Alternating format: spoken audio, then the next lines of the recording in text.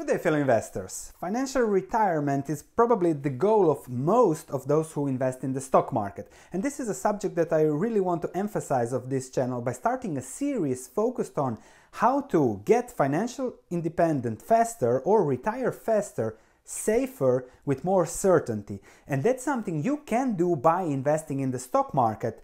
You just have to do not what everybody else is doing and blindly invest in index funds.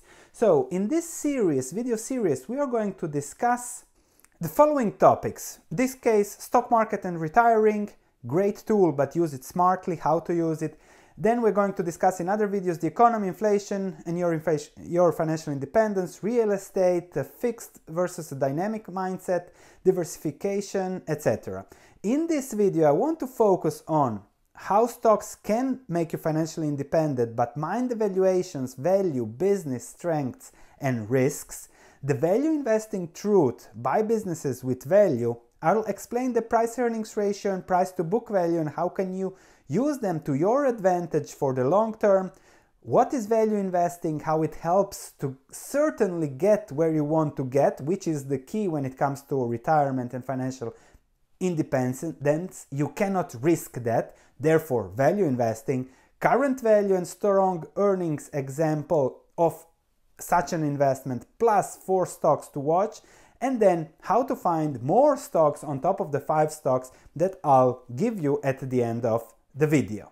So let me show you how you can reach financial independence, how historically it has worked in the past for a lot of people, but you have to see where we are now to see where there, it will work for you in the future. And then it all boils down to bottom up investing, finding 20 good businesses that you follow, invest in those that have the best business yield, and then you are set. So let me explain it all by first discussing the main mantra of the investment environment and that is investing in index funds and why that might not be the best vehicle for your retirement.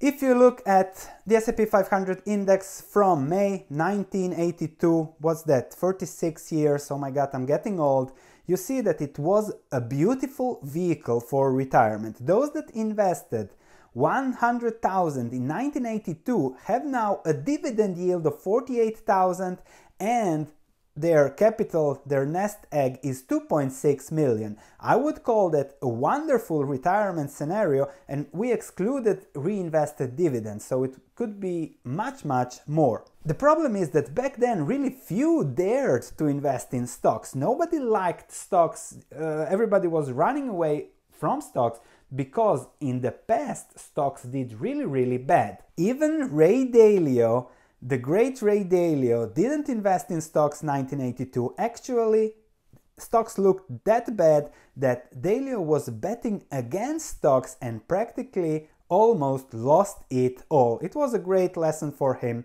He survived later and now he is the Dalio we know.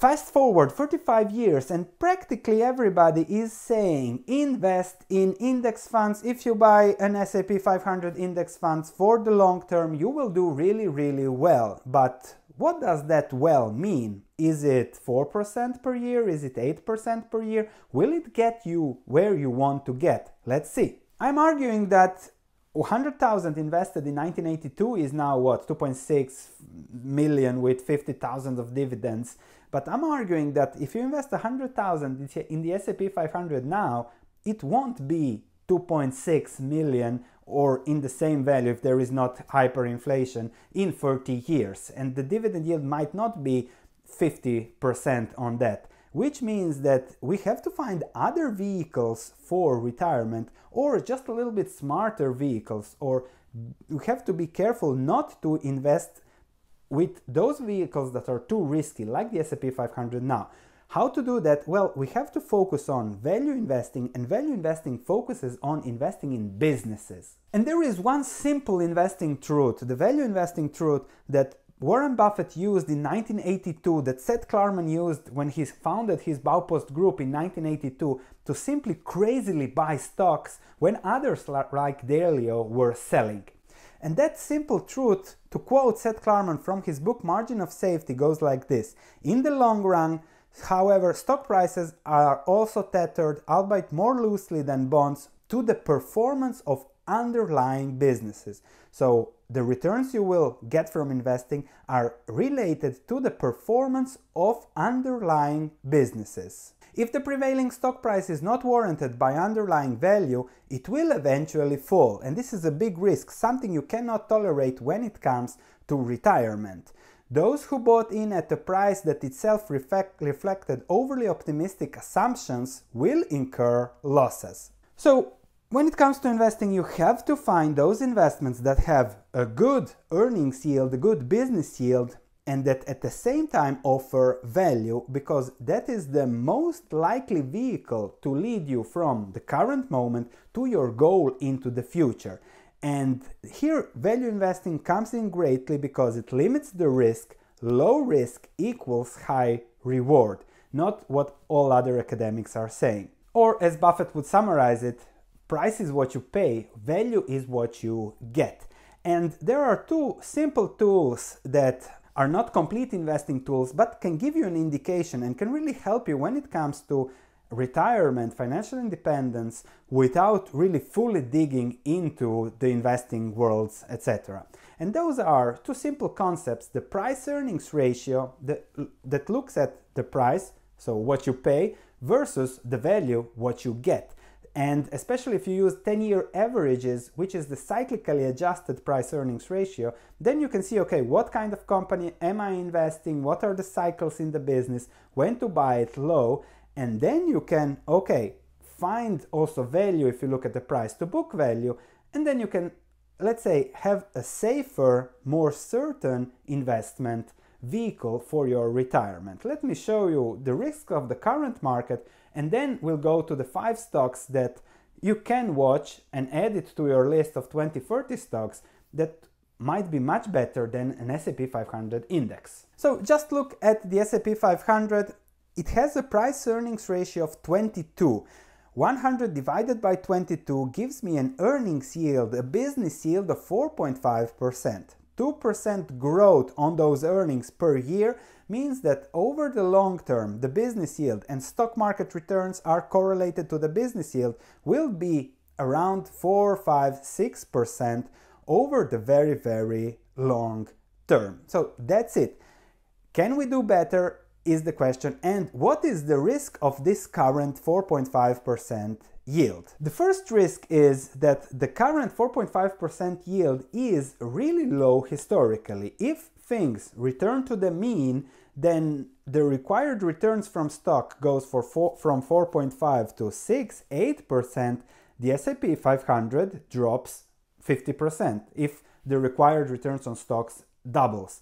And that's a big risk for those who want to retire because that's something you don't like when the assets you have drop 50%. And that has happened in the past, especially when stocks were, let's say, valued at a high valuation. 1929, it took 30 years for stocks to recover, 26 years from 1965, 15 years from 2000.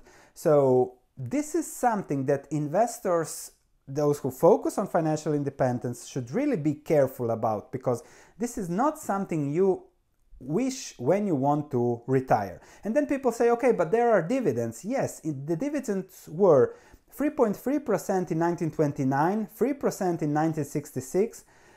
In the 2000s, those were 1.5%, and now the dividend yield is just 1.8%. So if stocks go nowhere for 26 years, you cannot tell me that you would be happy with a dividend yield of 1.8 so for me personally, investing in such index funds is a big, big risk and I would like to avoid that risk if I want to retire 10, 15, 20 years down the road because it might be that stocks, stocks would be down 40%. And yes, everybody's saying stocks will always go up, but what is that worth to people, for example, in the Netherlands, where the Amsterdam Exchange Index was at almost 700 points in the 2000s and now is at 568 points. So almost what 19 years the stock market hasn't recovered, but okay, it's up from the lows of 2002 and 2009. In Croatia, stocks are still 75% below their 2007 peak. So it's not really that stocks always go up. It depends when you buy them and what's the price you pay. And this leads us to thinking about price earnings ratios and price to book values and you will see what will be the likely outcome if you focus on those metrics.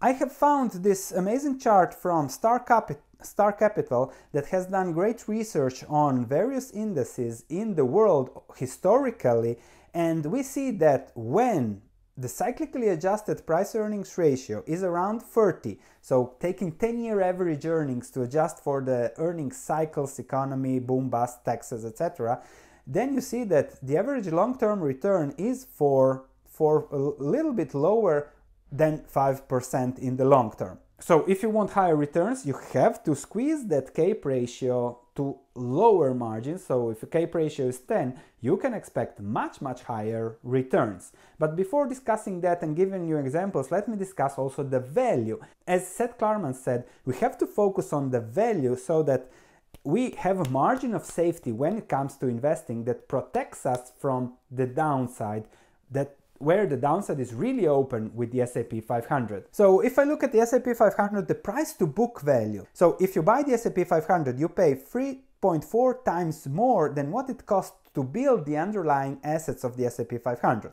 Now you might wonder why would people pay more? Well, it is about future earnings, it's about the return on the assets, on the other underlying assets that are historically high, so people are willing to pay much more about book value. But if you can have growth companies, good return on assets, and you can have it both with a low CAPE ratio, with a low price earnings ratio, with stable businesses, why not focus on both and find 20 businesses that give you both a margin of safety and a lower price earnings ratio, and that's all you need for retirement. You follow those businesses when they hit your buying price, you buy them, and over the next 20 30 years, you'll do much better than the S&P 500, which with much less risk. Further, going back to Star Capital, you see that the returns, if you buy price to book value high 3.4, are again around 4.5, 4.55%. Lower price to book values have much higher returns, have shown much higher returns in history. So smart investors would not just follow the herd into the S&P 500, but let's look for both.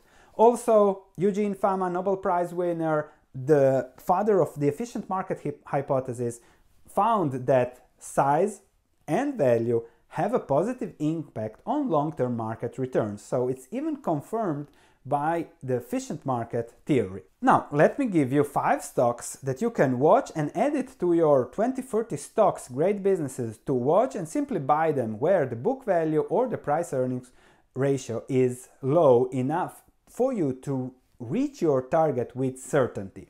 Let me give you a stock that I have analyzed here in a video. It's called Archer Daniels Midland. It's a food processing, global food processing company, and it has a price earnings ratio of 13.3, which means that the business yield is around 7, 6, 7, 7.5%, and the price to book value is 1.29, which gives you a better margin of safety than 3.4. It's a boring business, typical value investment businesses. The dividend yield is also 3.2%, so I really believe that this business will give you a 7-8% investment return over the long term compared to the 4.5% of the S&P 500. This business has been around for hundreds, 100 years, 89 years of increasing and paying dividends. So you are buying something pretty certain.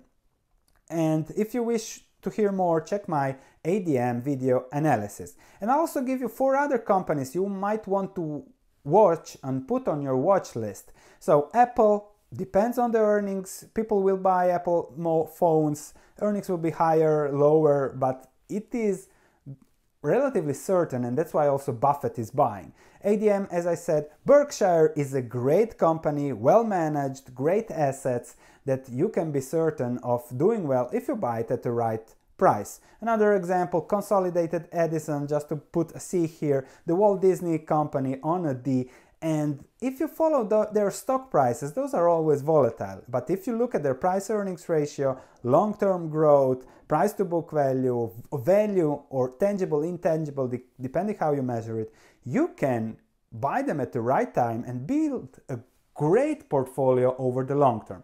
If you have a list of 20, 30 stocks like this, and you simply watch, okay, I'm going to invest on a monthly basis. Oh, Disney is cheap like it was cheaper in December. I'm going to put it into Disney. This month something else is cheap. I'm going to buy that, that, that. And then over the next 10 years, you have a portfolio over with a margin of safety and with higher yields than the S&P 500. And that's crucially important if you want to retire because it lowers your risk, increases your returns, and let me show you the difference. This is the difference. I also firmly believe that a portfolio of companies like ADM will outperform the S&P 500 in the long term due to their underlying business earnings and margin of safety. The differences are staggering. $1,000 compounded at 4.5% annually, S&P 500 compounding would lead to an amount of 2,400 in 20 years while 1007.5 leads to 4200. So we have companies with less risk and offer higher yield. That's a huge difference when it comes to retiring, almost double the difference when it comes to retiring and financial independence. I wouldn't risk it on the S&P 500 when I can find something low risk and higher return. Price earnings ratio, you can see even Apple, 2015 the price earnings was 11, uh, 14, so now it is a little bit higher with 17, but still, let's say on the higher end of the average, but still always below the S&P 500 index. And you can see how you can buy such companies even at earnings yields of 8 9%. Later the stock price appreciates and gets to the average, but this is what I'm talking about. If you have a patient, financially independent mindset, then you know you can find those stocks and buy them on the cheap. If you wish to hear more about this mindset, please subscribe as I'll continue with the financial independence series. If you wish to hear more about such investments all around the world, betting on Asia and the 4.5 billion people that live there, please subscribe to this channel. Thank you for watching, looking forward to your comments, and I'll see you in the next video.